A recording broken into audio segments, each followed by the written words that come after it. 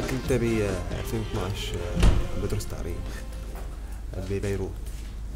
ولما ولدت الأحداث جيت على سوريا. و وتطوعت مع الجيش السوري كمصور ووثائقي حربي. لنوثق المعارك والأحداث اللي عم بتصير.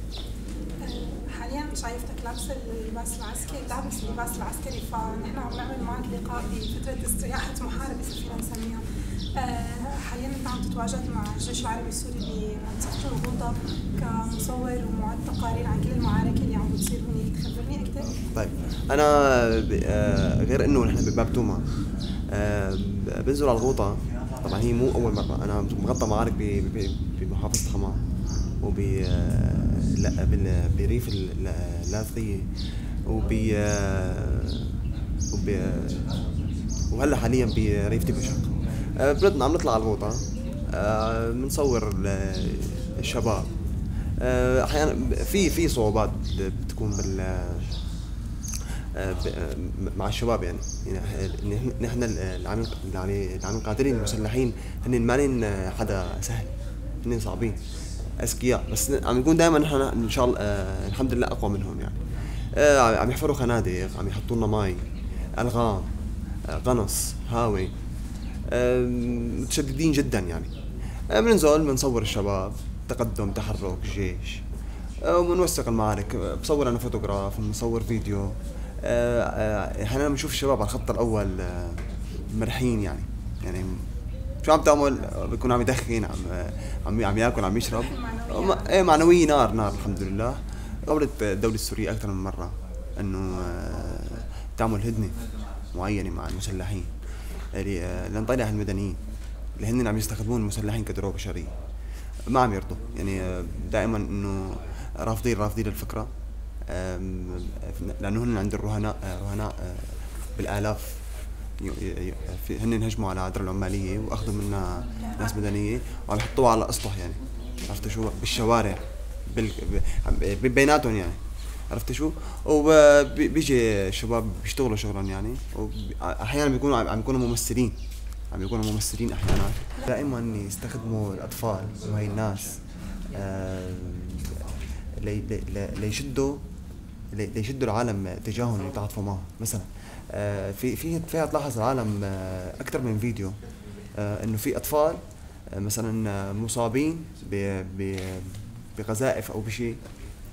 بغزائف أو بشيء أو بضربه أو معينه عم نلاقي الاطفال هي بمكان ثاني انهم ما فيهم شيء.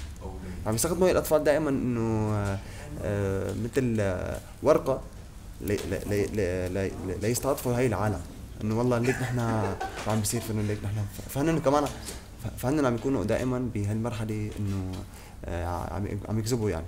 و فيها تلاحظ مثل لك هاي العالم بالفيديوهات الأخيرة يعني. فيها تلاحظ وتقارن بين هذا الطفل وين كان وين شو صار حتى شباب عم يمثلوا هذا الموضوع.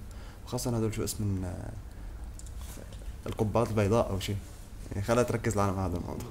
سياق كلامك عن موضوع الهدنه والمحاولات للحصول على هدنه لإخراج المدنيين، نحن من اليوم الرابع للهدنه المفروضة كانت من الساعة 9 للساعة تنتين الظهر بس عم نلاحظ إنه دائما في خروقات للهدنه وبما انه نحن هلا موجودين بمنطقة باب فعم يكون في دائما استهداف.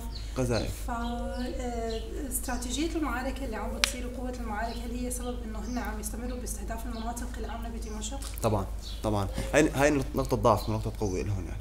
هن بده يعملوا أي شيء هن ملؤومين هن انحصروا بدهم يعملوا أي شيء لحتى آه، يستمروا بهذا الخراب والدمار اللي عم بيصير يعني بيرموا قذائف بيرموا صواريخ. يعني بجوز هلا ننزل قذيفه هون. نحن ببابتهم بجوز ننزل قذيفه هون. يعني مشان إنه يقولوا والله آه في حرب في كذا ياخذوا ورقة معينة من آه من آه من من, خيار من إيه. بس إنه دائما آه بمرحلة ضعف هلا. آه بمرحلة ضعف. هل ممكن نعتبر إنه موضوع ازدياد خروقات الهدنة لأنهم هي نقاط قوة لتقدم الجيش العربي السوري في مناطق الغوطه؟ طبعا طبعا في تقدم آه، ملحوظ للجيش السوري بالغوطة وهي مسألة وقت لا أكثر بتحرير الغوطة والنصر أكيد يعني إن شاء الله بإذن الله بإذن الله. طيب آه، أنت شاب آه، مثل ما فهمت منك أنت كنت عم تدرس تاريخ وتركت الدراسة ورحت لا ما ت- ما تركت هلا. أنا آه، وقفت الجامعة. رغم يعني رغم تركت حياتك الطبيعية كشاب ممكن تعيش بحياة لا لا. مو هيك مو هيك. أنا نزلت ضمن ظروف ضمن ظروف معينة. ما تركت مشان الحرب. نزلت ضمن ظروف معينة. حبيت أشتغل شيء ما حبيت أسافر. أنا وحيد. وحيد لأهلي. حبيت أعمل شيء إنه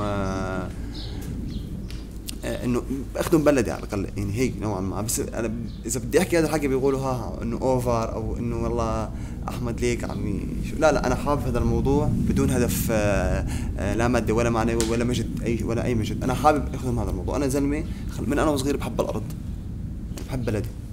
فأنا حبيت أخدم شيء أو إنه آه، مع الأيام إنه أقول لأولادي أو الناس أو العالم إنه أنا بيوم من الأيام كنت بهذا بهذا ال- المكان يعني. إنه عملت شيء معين.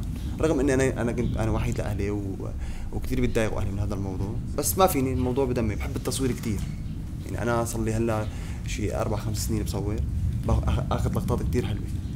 آه، بحب التصوير كثير و- آه، وكمان هذا الموضوع إنه في فينا آخذ صورة صعبة. صورة صعبة ما حدا فيها ياخذها أنا فيني فيني أنا أجي أصور جبال وحارات وكذا بس بالمعارك ما في. مو من مكان في يصور هذا ال- الشيء أكيد يعني. هاي الأرض أرضنا. وما بنرضى حدا يا- يا- ياخذها منا. هاي الأرض أرضنا وما بنرضى حدا ياخذها منا. ونحن سوريين ومن كل الطوائف والأشكال والألوان وعايشين. وهلا بس ضل مسألة الغوطة. هي هي المفتاح الوحيد لكل المجموعات ال- المسلحة. بس قصه الغوطة إذا الله راد آه، بتنتهي نوعا ما الحرب بسوريا. وان شاء الله بنرجع آه، مثل ما كنا. يا رب. آه، ختام انه أحمد الحرك الشاب الوحيد لإله اللي فضل إنه هو يدمج هوايته بالتصوير تماماً، تماماً. وعمله بالتصوير مع. العمل الحربي. تماماً. بشكرك كثير دخل بتمنى بين بارتوما المستهدفه من من المسلحين وبين تواجدك بالوضع أنه تضلك دائما سعدان مثل ما أنت ما توصل لمرحلة تقدر تخبر اولادك واولاد اولادك عن الشيء اللي صار بسوريا وكيف طلعنا بخير وسلامه بتشكرك. دخل هاي أهلا وسهلا. على حبك.